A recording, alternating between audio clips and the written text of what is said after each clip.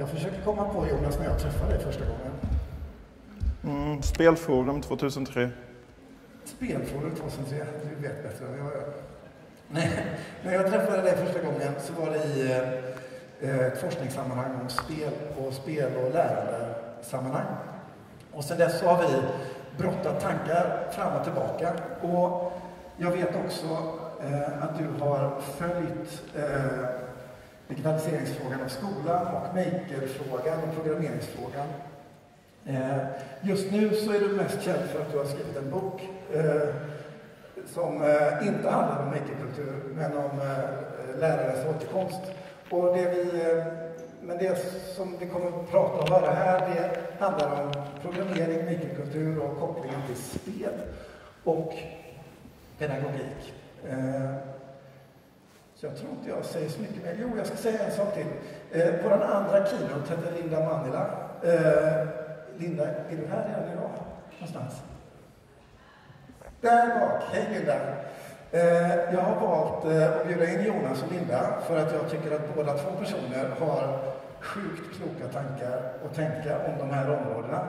Och ni kommer märka att Jonas och Linda inte alltid tycker likadant. Och det är också därför jag har valt dem. För de utmanar mig och de utmanar förhoppningsvis er också i att tänka nytt och reflektera. Så med det så är scenen din Jonas. Tack Carl. Ge en applåd tycker jag. Eh.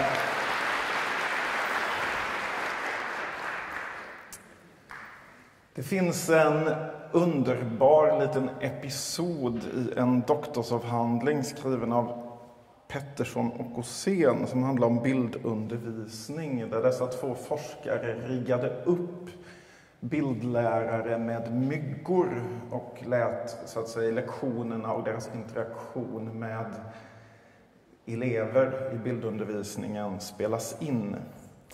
En något fri tolkad version, dramatiserad version skulle jag nästan vilja säga, av en excerpt ur Pettersson och Åséns doktorsavhandling ser ut ungefär så här.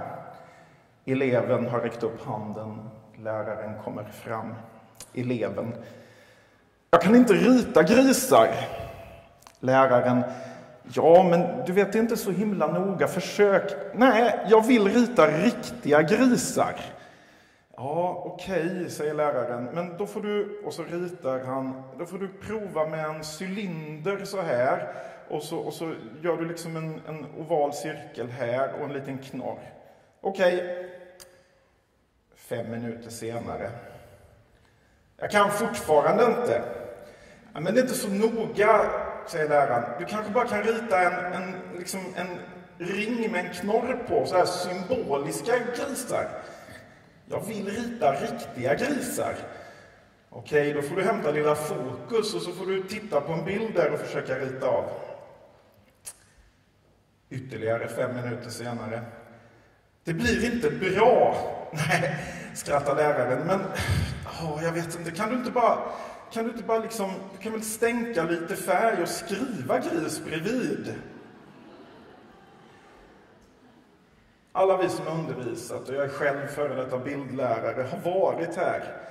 Alltså när det är svårt att hjälpa elever och studenter att förvärva de förmågor som vi, och i det här fallet studenten eller eleven själv, vill lära sig. När det inte riktigt fungerar så börjar man väldigt lätt att omförhandla målet. Och det är också en central del av den här, den här avhandlingen om hur så att säga, bildundervisningens mål ständigt är utsatt för förhandling.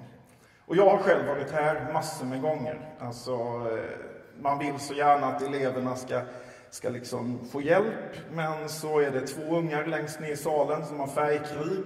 På den tiden jag var bildlärare kunde dörren till fotolabbet som vi hade då öppnas och om inte den stängdes inom en sekund förstördes fotopapper motsvarande en terminsbudget.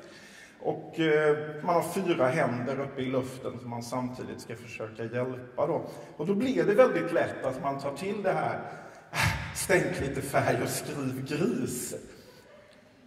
Så vi hamnade av nödvändighet. Det är en del av läraryrket att ta till nödlösningar. Men vad händer när den här typen av nödlösningar görs och upphöjs till god pedagogik? Vad händer när målformuleringar är skrivna på ett sådant sätt att man vill ha symboliska grisar?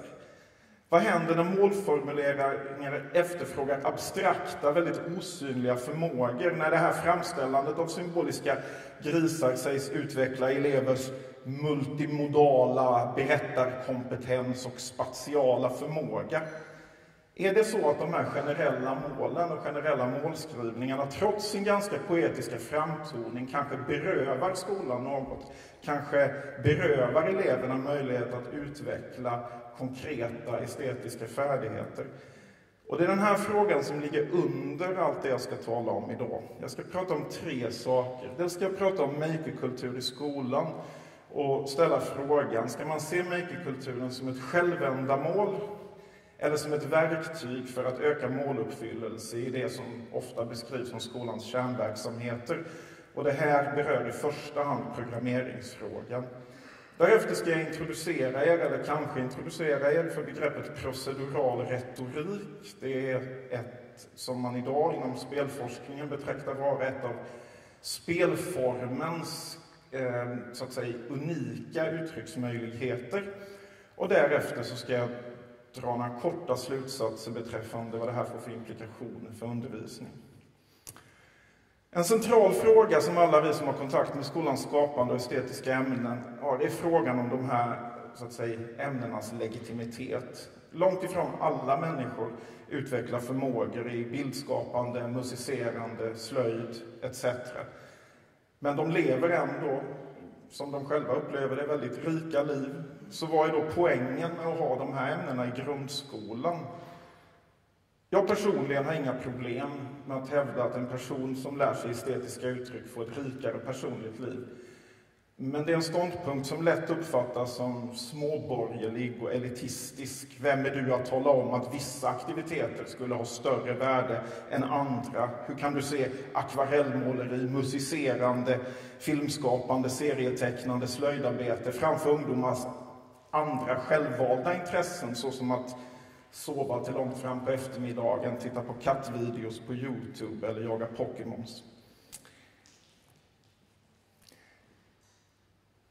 Hotet mot de här estetiska ämnenas självklara existens leder lätt till att vi som jobbar med de här innehållen gärna söker argument för att rättfärdiga dem. Varför ska de få finnas? Varför ska de vara en del av skolan? Och ett sådant sätt är att hävda att konstnärliga ämnen har långtgående effekter på andra nyttiga kunskaper. En inkarnation av ett sådant resonemang finns hos Howard Gardner. Kommer ni ihåg Howard Gardner, 96? Det mumlas lite. Han, hans teori om de sju intelligenserna gavs ut. De blev så småningom nio intelligenser. Han ändrade i sitt kategorisystem där. Men eh, de gavs ut på Brain Books från Jönköping. Därmed inte sagt att alla pedagogiska argument från Jönköping har problem. I varje fall, eh, teorin menade att när man lär sig så utvecklar man inte bara, så att säga, eller när man lär sig bildskapande och andra former så lär man sig inte bara bildskapande, utan man utvecklar då sin spatiala intelligens. Och självklart älskar man ju detta då som bildlärare. Alltså, jag är inte bara den som får ungarna att kan, liksom, kunna hantera teckningsmaterial för att beskriva yta och volym, utan jag lär dem liksom, en spatial intelligens som de då även har nytta av i en rad andra domäner. Ursäkta. Eh. Och den här sortens argument gör det då möjligt att hävda att estetiska ämnen, skapande ämnen, konstnärlig verksamhet ska finnas i skolan för att de ökar resultaten av något annat. En herre som problematiserade detta var eh, professor Elliot Eisner vid Stanford Graduate School of Education. Eh, efter att ha ägnat en karriär åt att promota och föra fram värdet av art education så blev han lite trött på den här typen av argumentation och gick in och granskade den forskning som vid tillfället fanns på området kring eh, huruvida det är så att egen, eller kunskaper i konstnärliga ämnen på något sätt har det vi inom pedagogik eller pedagogisk psykologi kallar för transfereffekter på andra former av, av kunskaper. Blir du bättre på matte av att du är en duktig tecknare? Och hans granskning visar då, den, kan den här ligger öppet på nätet, den har några år på nacken, men ni kan hitta den själva och läsa och döma. Den visar ju då att eh, den här forskningen är ofta ganska tendentiös, dåligt gjord och i den mån det finns bra forskning så visar den på inga eller mycket, mycket små transfereffekter av eh, mellan konstnärliga ämnen och andra typer av kompetenser. Men, säger Elliot Eisner, det är ju, egentligen är det här inga problem. Det är väl jättebra om det är så, även om det finns små effekter. Jag har tagit mig friheten att översätta några utdrag ur hans text. Han säger så här. Jag har inga problem med att konstnärliga erfarenheter leder till högre provresultat i matematik, läsning eller satslogik. Problemet kommer när de estetiska ämnenas värde i skolan primärt ses vara dess bidrag till någons version av vad som anses vara baskunskaper. Baskunskaper som i sig inte har något att göra med konstnärliga värden. Det blir lite som det här argumentet att man ska äta sallad eller grönsaker för att de innehåller vitaminer, inte för att grönsaker kanske faktiskt har vissa gastronomiska kvaliteter. Eisner går vidare och menar att för företrädare av de estetiska ämnena och estetiska verksamheterna så är det här ganska osmart. Han säger så här. Ett kärnproblem med dessa argument kring konstnärliga ämnen är att de gör de estetiska ämnena sårbara för andra utbildningspraktiker. Verksamheter som kan hävda att man kan uppnå samma resultat enklare och mer effektivt. Det vill säga, vi skjuter oss lite i foten när vi säger att värdet av vårt eget ämne är i första hand att det hjälper de andra ämnena. Därför att de andra ämnena kan sannolikt, matematik kan sannolikt lära ut matematik bättre än vad vi kan göra i konstnärlig verksamhet. Och så avslutar Reisner. Man gör inte de estetiska ämnena en tjänst genom att framhålla deras bidrag till andra ämnen. När sådana bidrag prioriteras blir estetiska ämnen tjänar åt syften som inte är konstnärliga estetiska. En process var i värdet av de estetiska ämnenas unika bidrag till ungdomars utbildning undergrävs. För Reisner har alltså de estetiska formerna ett egenvärde som man förstör när man lägger fram de här argumenten. Det faktum att olika konstformer är, är, är liksom en form av uttryckspotential försvinner. Att de ger människor en röst, att de ger människor verktyg att kommunicera, att människor får upplevelser och personlig tillfredsställelse i den stolthet det innebär av att behärska ett estetiskt uttryck. Att man genom estetiska former binds ihop med århundraden av mänskligt skapande där konstnärliga värden alltid har varit centrala i demokratiska och friska samhällen åtminstone. Allt detta undergrävs. Och inte minst idag, vi behöver folk med de här kvaliteterna när kultur och upplevelseindustrin kanske är större än någonsin. Varför pratar jag då om Eisner och bildskapande? Jag skulle ju prata om makerkultur. Jo, den här argumentationen ligger nämligen väldigt nära en annan diskussion som har skett tio år innan, redan på 80-talet, nämligen diskussion om vilket värde programmering sägs ha i skolan. Den världsberömde matteprofessorn Seymour Papert hade utvecklat programspråket Logo och hävdade nu att genom att lära sig Logo så skulle man inte bara lära sig Logo utan man skulle lära sig en rad andra färdigheter. Och en annan forskare som heter Roy P var kraftigt kritisk mot Paperts argument.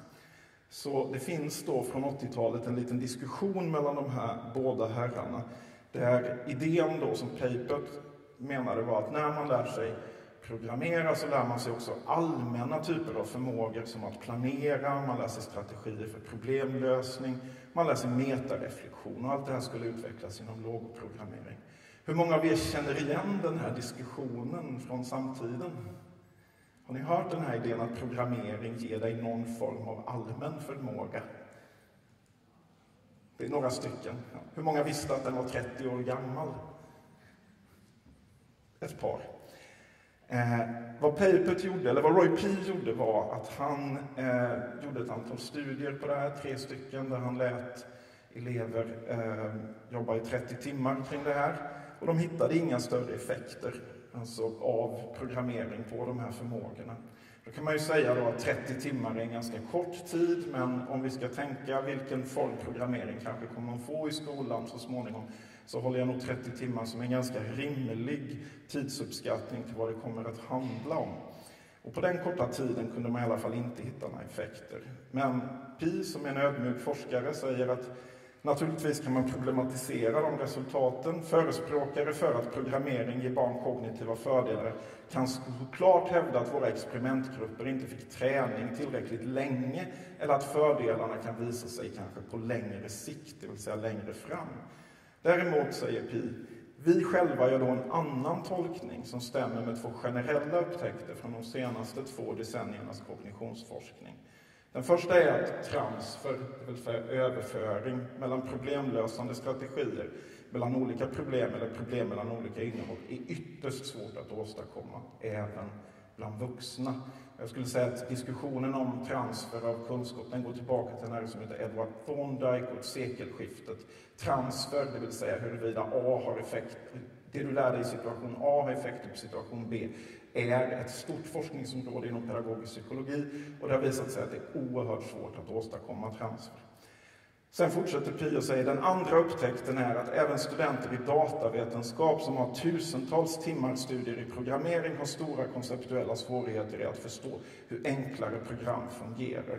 Den här delen har jag med bara av akademisk hederlighet. Jag tror kanske att man ska vara lite skeptisk till det här resultatet. Det finns bara en referens som Pia använder, en studie. Jag har inte läst den studien i original.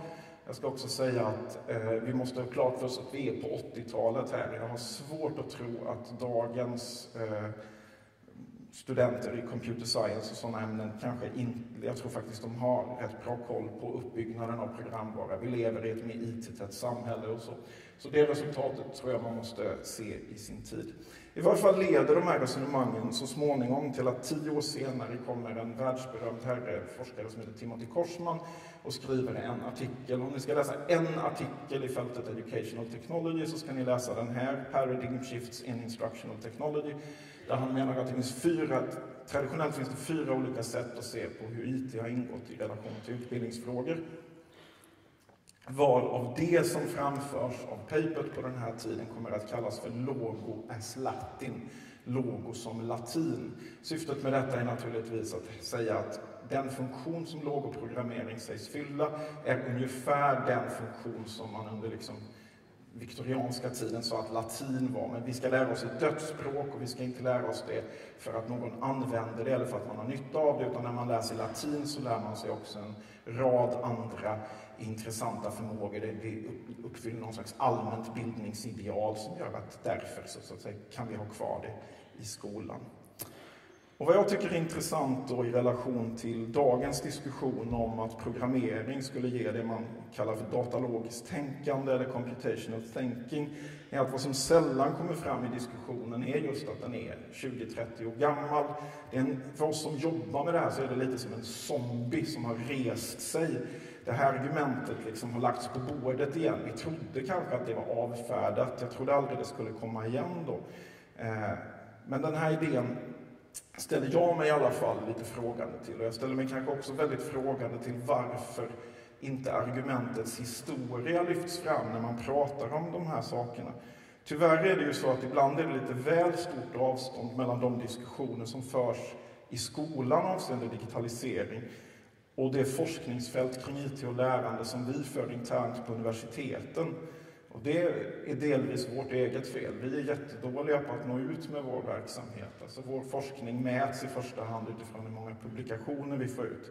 Men det är också en fråga om strukturella faktorer från andra sidan. Alltså I den kraftigt kommersialiserade och marknadiserade skola vi har så finns det en, som jag ser det, en tydlig orsak. Alltså den fortbildning som lärare får kring digitalisering av skolan kontrolleras, som jag ser det, av paketlösningar från de företag som också implementerar tekniken.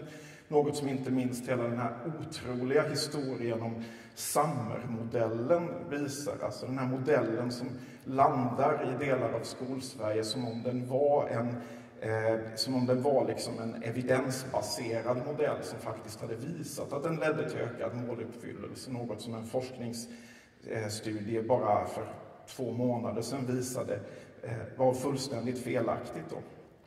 Kritiska forskare har därför kommit att benämna den typ av resonemang som man ibland för kring IT och lärande, att det finns en typ av diskurs som man kallar edtech speak Och den forskaren Nils Selvin han säger så här om EdTech Speak att EdTech Speak utmärks inte direkt av att företrädare ljuger eller döljer sanningen i sig, men det används ett språk som är överdrivet, spelat, intetsägande och saknar respekt för hur saker egentligen förhåller sig.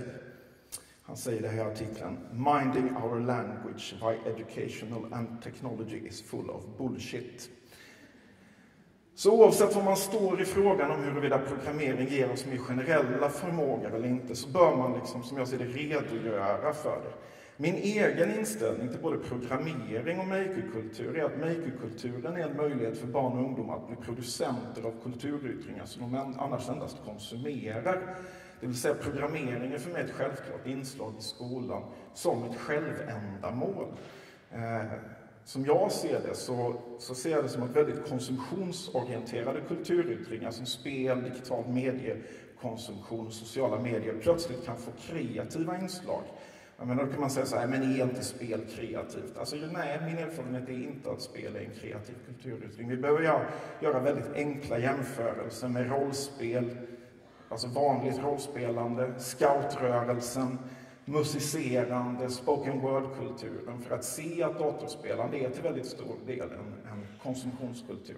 Här har vi en unik möjlighet att ge eh, den här kulturyttringen ett kreativt inslag, något jag ser väldigt positivt på. Det vill säga, de barn och ungdomar som lär sig något av makerkulturens alla former kan plötsligt få nya uttrycksmöjligheter. Nu ska jag gå över till att prata lite om en av de här uttrycksmöjligheterna. Jag ska prata lite om begreppet procedural retorik som vi då inom spelforskningsfältet ser lite som spelen och faktiskt överhuvudtaget mjukvarans sätt att argumentera. Det vill säga idén att man kan argumentera med regler, man kan argumentera genom hur man kombinerar betydelsebärande enheter matematiskt i form av algoritmer. Låt mig ta ett exempel. Säg att vi har ett spel, och nu pratar jag om ett vanligt brädspel för att förtydliga. I det här brädspelet så har vi en haj och en fisk. En spelare spelar haj, den andra spelar en fisk. Vi har en bana med rutor och man slår tärningar och flyttar så många steg som eh, tärningen visar. Men vi har gjort regler för det här. Och reglerna säger att hajen flyttar summan av två tärningar. Så hajen slår alltså två tärningar, lägger ihop resultatet och flyttar detta. Fisken flyttar vad en tärning visar. Genom att tillskriva de här två enheterna, då, de här representationerna, hajen och fisken, regler, så skulle man kunna säga att vi har gjort ett argument. Vi har gjort argumentet att hajar är snabbare än fiskar genom det sätt som vi väljer att matematiskt låta reglerna fungera. Vi kan bygga på, den här, vi kan bygga på det här regelsystemet. Vi kan lägga till den här regeln. Om hajen är på samma ruta som fisken kan den försöka fånga fisken.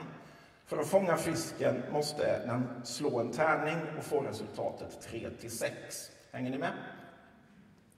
Argumentet vi har gjort då är att hajar är ett hot mot fiskar. Vi har byggt en modell där hajen kan fånga fisken och vi har också gjort ett argument om hur de här två representationerna förhåller sig till varandra. Vi kan fortsätta att bygga på det här. Vi kan göra våra rutor på spelplanen lite olika. Till exempel kan vi lägga dit korallrev. Om, och så kan vi lägga till regeln. Om rutan är ett korallrev fångas fisken bara om hajspelaren slår en sexa. Och då har vi gjort argumentet att ett korallrev utgör ett skydd för fiskar. Är ni med? Och den här typen, det här sättet att resonera, det kallar man inom spelforskning för procedural rhetoric, eller procedural retorik. Ibland har jag kallat det för processburen retorik. Eh, den som skapade det här är en forskare som heter Ian Bogost. Och han kallar det för praktiken att använda processer för att övertyga. Vad som avses är ju då att genom att du är i den här aktiviteten och den här aktiviteten är designad på vissa sätt, du deltar i det här systemet, så kommer det här argumentet som designen har försökt göra att eh, du kommer att få dig det till del. Jag tycker att en enklare definition skulle vara att man gör ett argument med hjälp av regler. Låt mig ta ett väldigt, väldigt tydligt exempel och ett exempel som kanske kan beskriva hur det här skiljer sig från andra sätt inom retoriken och andra sätt att argumentera och uttrycka sig. Ehm, och jag ska ta exemplet, känner ni till det brittiska partiet Ukip? Ni vet vad det är? Det var de som låg bakom Brexit. Det är alltså Storbritanniens svar på Sverigedemokraterna. I sin valkampanj, eller i en av sina kampanjer, så hade de den här retoriken. Nämligen, en av deras taglines var “British workers are hit hard by unlimited cheap labour”. Och det här är en, en klassisk retorisk utsaga, den är språklig. Och i och med att den är språklig så bygger den på idén att, eller den bygger på strukturen av att eh, de betydelsebärande enheterna är sammanfogade linjärt, temporalt, över tid. Det vill säga eh, British workers are hit hard är relaterat till unlimited cheap labour. Och genom att vi läser det här linjärt så packar vi upp den betydelse detta har. Och det här kan man se genom att om man kastar om ordningen på den här utsagan så får man en helt annan betydelse. Unlimited cheap labour are hit hard by British workers får en helt annan mening och innebörd. Är ni med? Så språket organiserar sina enheter över tid, temporalt, linjärt. Visuell retorik då, bildretorik, ja, det här är också från Ukips kampanj. Den bygger på att man organiserar de betydelsebärande enheterna rumsligt.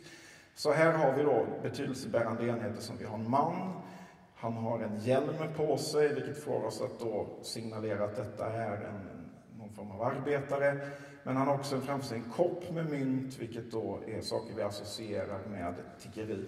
Det är i sammanhanget inte helt ointressant att det är en vit man. Och detta är då en del av hela Ukips retoriska framställning med att eh, British workers are hit hard by unlimited cheap labour. Så uttryckspotentialen och språket är att den är temporär linjär, bilden är spatial rumslig.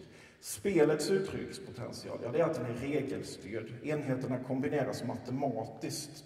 Hur skulle då Ukips retorik kunna se ut om det var gjort i spelform? Ja, låt mig då något humoristiskt försöka att eh, teckna hur Ukips propaganda skulle se ut om vi gjorde ett spel av det, nämligen deras EU Politics the Game. I det här spelet, som inte finns tack och lov, men det här hypotetiska spelet, så är Storbritanniens barn väldigt ledsna och vårt mål som spelare är att få Storbritanniens barn att bli glada. Det finns en spelkarta, den ser väl ut ungefär så här enligt Ukip. Och det finns en protagonist, Nigel Farage. De handlingar du kan göra i det här spelet eh, är att du kan flytta två stycken, två stycken mätare. Så här, det är ett väldigt enkelt browserbaserat spel det här. Du kan dels kontrollera inflödet av utländsk arbetskraft och du kan kontrollera lönegapet mellan män och kvinnor. Det är de två handlingar man kan göra i det här fortfarande hypotetiska spelet som inte finns. Om vi då skulle matematiskt bygga våra regler till det här browserbaserade spelet på följande sätt eh, så skulle vi kunna säga så här. Lyckomätaren hos barnen går upp om de är hemma med sina mödrar, men minskar om de är hemma med sina fäder. Man förlorar lycka genom att vara på förskolan. Lyckan ökar i relation till familjens samlade inkomst och sen låter man den samlade inkomsten påverkas av mängden arbetskraftsinvandring. Då har vi fått en procedural retorik där argumentet är att de optimala förutsättningarna för lyckliga brittiska barn är att vara hemma med sina mödrar i ett samhälle med låg invandring. Den här typen av system Alltså det, och det är väldigt viktigt att inom simuleringskulturen så pratar man ofta om modeller. Inom spelforskningen så pratar vi om procedural retorik, för vi menar att när man konstruerar matematiska modeller så gör man alltid ett argument. Man kan inte se de här matematiska modellerna som en så att säga, korrekt representation av verkligheten, för den som har gjort dem och byggt dem har alltid gjort ett visst urval. Ett annat exempel på det här är, som faktiskt finns, är spelet Civilization. I det här spelet kan man ha olika politiska policies och här finns en del regler. Till exempel om du har envälde så kan du införa policy nationalism. Det gör att det blir billigare för dig att ha en stor armé. Jag vet inte om det är ett korrekt argument, vad säger ni? I ett land med stor nationalism, hög nationalism, är försvarspolitiken billigare. kan vi fundera över. Om du har order då kan du införa proletariatets diktatur, vilket gör att turism från länder som är olyckligare än ditt land kommer att öka. Och om inför du frihet så kan du införa kapitalism, vilket innebär att du får högre lycka för varje mynt, en speciell byggnad, varje bank och varje aktiemarknad du har i ett land. Det är ett väldigt tydligt argument mellan lycka och vissa, så att säga, eh, vissa så att säga, byggnader som du bygger upp i det här. Den här typen, den här typen, det här sättet att tänka, då, det har ju använts också väldigt medvetet av folk som vill framföra en samhällskritik. Exempelvis rekommenderar jag er att spela det här spelet, McDonalds the Video Game. Det är inte utgivet av McDonalds själva kan jag säga. I det här spelet, så för att driva din McDonalds-restaurang har du möjlighet att skövla regnskog. Du eh, ger dina kor hormoner och du kan dessutom, om du vill, ta köttavfallet. Det är ju synd att låta det bara gå till spillo, så du kan göra foder av det och ge tillbaka till dina kor i det här spelet. Ni hittar det via Moll Industria om ni söker. Det är en spelkonstnär som har gjort det här. Ett mycket intressant, mycket intressant procedural retorik i det här. Ett annat exempel är spelet Perfect Woman av eh, den tyska designern Lea Schönfelder. Det här är ett spel för Kinect där idén är att man då ska försöka att bolla rollen av att vara kvinna i det moderna samhället. Men vad man gör konkret är att man måste stå på ett ben och göra alla dessa fantastiska, omöjliga manövrar för att få ihop karriär med, eh, med yrkesliv och så vidare. Då. Ta en titt på det, det har precis kommit ut till Kinect. Ett av de mest klassiska exemplen på ett eh, spel med procedural retorik är ett spel som heter September 12. Det är ett spel där, jag ska se, jag ska starta det. Det är ett spel där man då eh, ska försöka att skjuta terrorister i den här enkla. Det är bara det att det här är så oprecist så att när du gör det så dör en massa oskyldiga. Och varje gång det görs, som ni ser på bilden, så skapar du fler terrorister genom att oskyldiga drabbas av dina, din vedergällning. Så spelets procedurala retorik, eller reglerna som du så småningom upptäcker när du spelar är det här att ju mer du försöker, desto fler terrorister kommer det att uppkomma. Och tydligen lärde jag mig bara häromdagen, trots att det här spelet är 10-12 år gammalt. Det finns en lösning på spelet, det är bara att låta bli, sitta och vänta. Och jag säger inte att det här är korrekt, är så, men det finns, ni förstår, liksom, jag säger inte att det här är ett bra argument, det vet vi inte, men alltså poängen med det är ju liksom att det för fram en viss retorik. Ett annat sånt här spel, också av Lea Schönfelder, som heter Ultisa Dimitrova, ska vi se om vi kan få. Det här är ett spel... Ja, hon får berätta själv här. Det utspelar sig i Sankt Petersburg och handlar om ett gatubarn. Let's rock some vodka.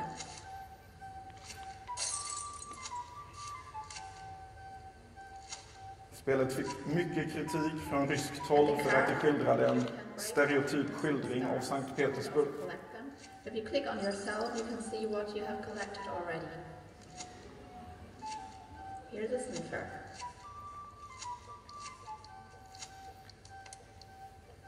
Okay, he wants glue. Let's rub some glue. And give it to him.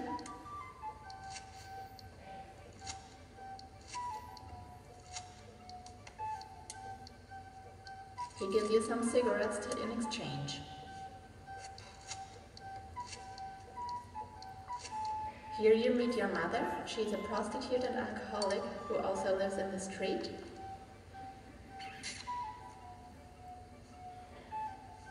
Let's give her the vodka you wrote.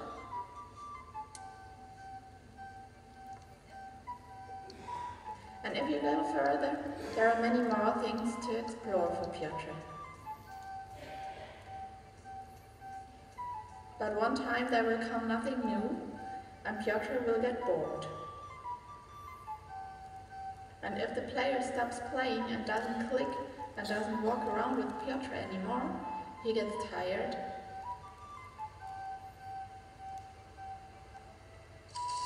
and begins to freeze. Och det är alltså här själva den procedurala retoriken kommer. Att om spelaren slutar att spela så kommer Piotr att lägga sig ner och genom att bara sluta spela så kommer han att bli översnöad och så småningom dö. Så den procedurala retoriken, argumentet som spelet gör, det gör ju många argument även genom sin visuella retorik, men det procedurala argumentet är att Eh, som gatubarn i Sankt Petersburg måste man hålla sig i rörelse hela tiden. Samma ögonblick som han slappnar av så, så kommer det att få fatala konsekvenser. Den här hoppar vi över. Jag ska visa ett annat. Det här är också från Moll Industria. Det här är ett spel som man spelar på sin eh, mobil. Det heter Phone Story och det handlar om eh, koltanbrytningen. Så det har ju en slags dubbel retorik, för du sitter ju då och spelar det här på din... Du, Oj. Ja. Du spelar ju det här spelet på den mobil som har krävt då koltanbrytning i det här. Eh, så. Och, eh, dels, det, det jobbar på två nivåer. Dels gör du småspel, som i det här fallet, där du måste göra oetiska handlingar för att komma vidare och tvinga de här arbetarna som är barn att bryta koltan i gruvorna. Och sen lite längre fram i spelet så kommer det också ett moment där du eh, kommer det också ett moment där du ska rädda fabriksarbetare med ett brandsegel. Jag kan bara hoppa dit. Eh, från en kinesisk fabrik så ska du rädda dem och då berättas historien om hur vanligt det är med självmord i de här fabrikerna som producerar mycket av den teknologi vi har omkring oss.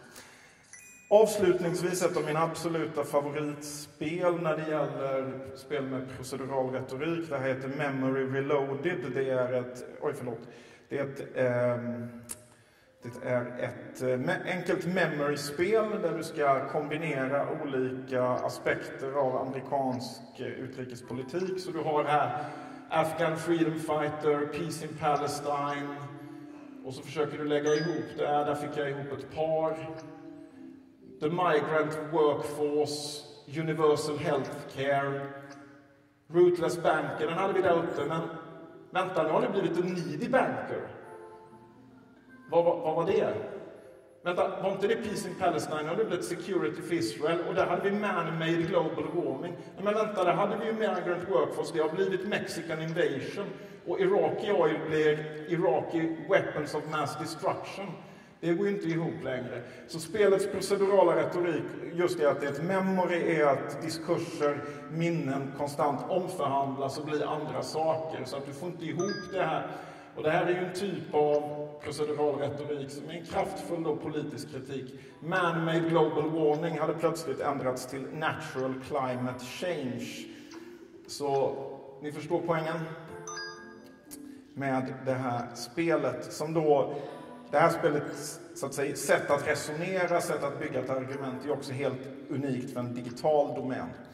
Det finns fler sådana här spel, jag har inte tid att visa alla. Jag kan bara nämna att det här gäller inte, det här sättet att bygga spel gäller inte bara digitala spel, det finns också olika typer av brädspel som man kan ha för att jobba på det här viset. Det här är ett spel som heter Train, framtagen av Brenda Romero, en konstnärinna och speldesigner. Och i det här spelet så spelar man spelet där man ska flytta flytta olika figurer över en rälssträcka men man inser på slutet av spelet att vad man har gjort är att man har flyttat judar till Auschwitz och då får man klump, en klump i magen så spelet jobbar på det viset. Och, och det finns en del sådana spel som även är, så att säga, finns att köpa. Train finns ju inte att få tag i, det är ju ett konstobjekt. Det finns ett spel som heter Freedom som handlar om de, så att säga, sla, eh, abolo, jag kan knappt säga det, abolitioniströrelsen som hjälpte slavar att fly till Kanada i eh, Nordamerika och i det här spelet då så lär du dig mycket om historien och bakgrunden kring det här.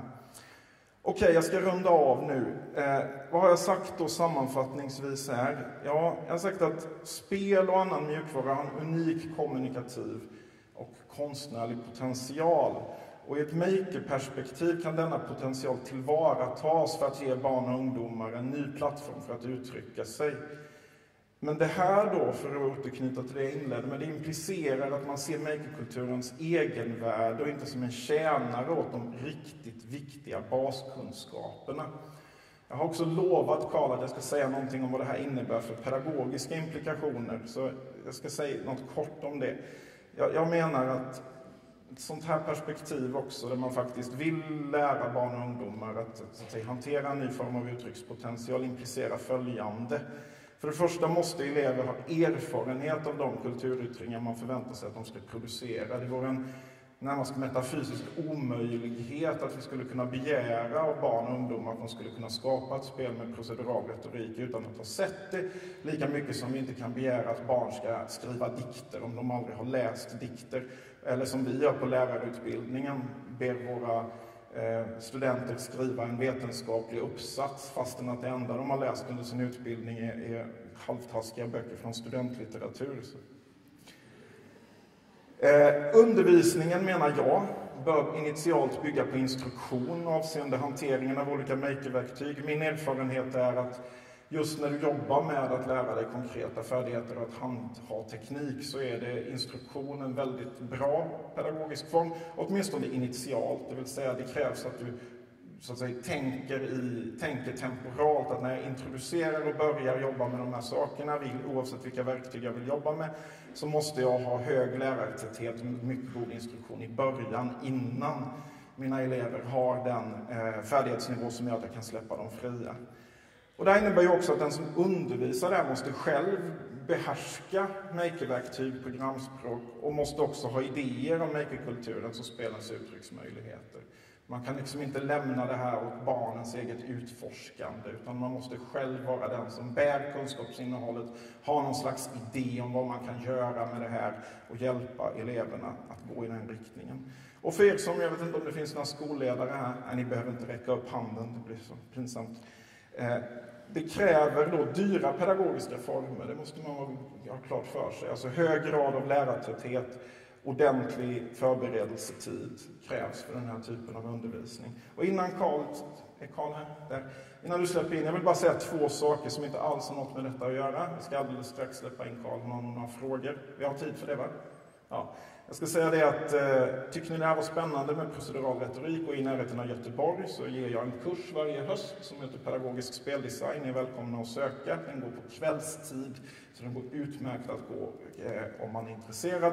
Och sen är det också så att jag för närvarande med ett par kollegor håller på med en studie om spelturism och letar efter informanter till detta. Spelturist är ju om du någon gång har åkt till ett ställe i världen för att uppleva det du upplevde i spelet. Till exempel, du har åkt till Boston för att gå runt på de platserna som fanns i Fallout 4. Eh, eller du har varit på en plats där du har använt spelerfarenheter, varit i Normandie och minns de här erfarenheterna du gjorde i spelet. Eller om du i din semester kanske bara suttit och relaterat det du har eh, sett till ett spel, till exempel tittat på en vägg och tänkt om det här var spelet Assassin's Creed, då skulle jag klättrat där och där och där. Eller om du själv har använt dina semestererfarenheter för att designa, bygga ett spel, kanske som spelledare för ett rollspel. Om du eller någon annan har den här typen alltså, i din närhet spelerfarenheter, kontakta gärna mig. För de är inte lätta att finna, spelturisterna, men det är ett spännande nytt fenomen vi gärna vill beforska. Så, tack. tack så jättemycket Jonas.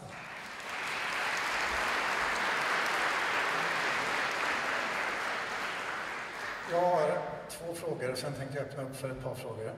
Eh, min första fråga är att jag tänker så här att vi, och vi kommer prata mer om det imorgon, vi håller på, eh, Skolverket har jobbat med att ta fram förslag på nya kurs och läroplaner i vilket programmering och att skapa med IT eh, föreslås bli inslag. Och just nu ligger de på regeringens bord och behandlas. Och, eh, när jag pratade med Utbildningsdepartementet igår så sa de att ja, ambitionen har ju varit att vi ska införa det här nya hösten 2017. Eh, men så slirar de lite på hanen och säger det kan vi inte veta för vi har inte bestämt någonting än. Sådär. Det kanske blir 2018 eller, eller så. Men däremot att vi kommer införa programmering i grundskola och gymnasium och förändra kurs eh, för förskolan, det förefaller väldigt troligt. I ljuset av det du var inne på här eh, på slutet vad gäller eh, den typen av kunskap som krävs för att kunna tillhandahålla det här innehållet som vi nu bestämmer att till exempel alla matte och tekniklärare i Sverige ska ha hösten 2017. Vad blir din reflektion då? Så jag är väl inte så tydliga... Jag är livrädd för att säga något i policyfrågor, för att då hamnar det i DN. Men eh, alltså jag kan säga så här i alla fall att, jag kan säga i alla fall att den första, det är ju det jag nämnde, att det, det, det är ju liksom bara att bita i det sura äpplet där. En förutsättning är ju att du har lärare som kan det här. Det är ju liksom inget, eh, det, ser, det är ju liksom en absolut förutsättning. Och det är ju en lång process, så det är väldigt svårt att se hur du liksom redan 2017 skulle kunna implementera det. Men det här är ju ett steg på vägen, make it days så. Men jag menar, ni är ju många här, men ni räcker ju inte till till hela Sverige. Eh, nej, det gör vi verkligen inte. och, och, eh, det krävs kanske mer än eh, ett par dagar och ett ja, små jag menar, Lärarutbildningens ansvar är ju, är ju enormt i de här sammanhangen. Och vad jag vet först är i stort sett ingen dialog med lärarutbildningen i relation till de här frågorna. Min andra fundering som jag har, den handlar om eh, det du var inne på kring eh, att makerkultur och programmering har ett egenvärde. I ljuset av eh, ja, de estetiska ämnena och Howard Gardner och alltihopa som du var inne på så kan det ju kännas liksom lite uppförbacke att säga att det har ett egenvärde. Men det, det är det du landar i, det är att det är där, den positionen som är grundpositionen. Att... Ja, jag skulle inte säga att det är en uppförsbacke, men det beror på hur man ser på IT i skolan. Alltså jag står ju för ett kompensatoriskt perspektiv på skolan. Skolan ska ju vara en arena där man erbjuds det man inte har tillgång till i hemmet. Om vi tar det som en slags utgångspunkt, vad blir då IT i skolan? Ja, IT blir ju den typ av teknologi som du kanske inte möter i vardagen det vill säga kraftfulla verktyg för 3D-modellering, 3D-printrar, eh, eh, vad heter det, sådana här du kan göra ja, men de här burarna du har i datorspel, alltså en typ av teknologi som du inte möter. Och där var vi ju, alltså det var ju så det såg ut när jag läste till bildlärare. Då hade jag ju liksom kollegor som var IT-eldsjälar som liksom jobbade med leranimation med Amiga 500. Och då var ju, det var ju liksom, leranimation med en Amiga var ju ingenting som ungar hade hemma. Så när de kom till bildsalen så mötte de liksom en mötte de liksom en helt ny värld och det var ju någonting som exempelvis Multimediabyrån på Skolverket förvaltade väldigt länge, det sättet att tänka kring teknik. Och det är ju något helt annat än att sätta en iPad i näven på varje unge, en typ av teknologi som man ändå har hemma. Va? Sen, sen kan man liksom ifrågasätta det och diskutera det, va? men just det här kompensatoriska perspektivet, att du möter den teknikanvändning du inte har tillgång till i hemmet som vidgar även ditt sätt att se på vad digitala verktyg kan göra. Då. Att du kanske inte ska liksom att du kanske inte ska liksom få mer Facebook, att du kanske inte företrädesvis ska få mer Minecraft, utan att du ska lära dig så att säga, någonting som lyfter din blick och gör att du kan göra mer med tekniken än vad du annars skulle kunna göra. Jag tror vi får stanna här, så kommer ja. ni aldrig få workshoppat heller. Eh, jättetack Jonas, ja, tack. för att du tittade hit.